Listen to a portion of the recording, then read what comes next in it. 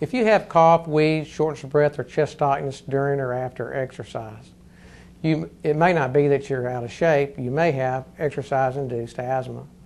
This is when the airways that bring air into and out of the lungs become narrow due to exercise, and this leads to the symptoms of asthma.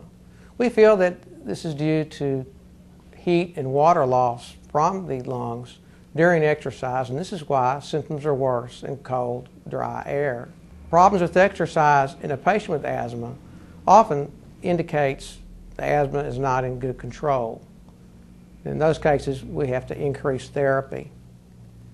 Other patients uh, that are at risk of developing exercise-induced asthma include those with hay fever or allergies in general.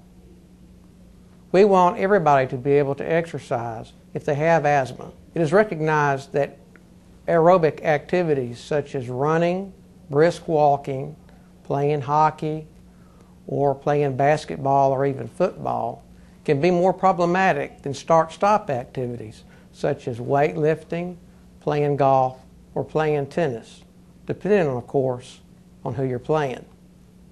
Now, 85% of the time, exercise-induced asthma can be prevented by use of a simple bronchodilator before exercise.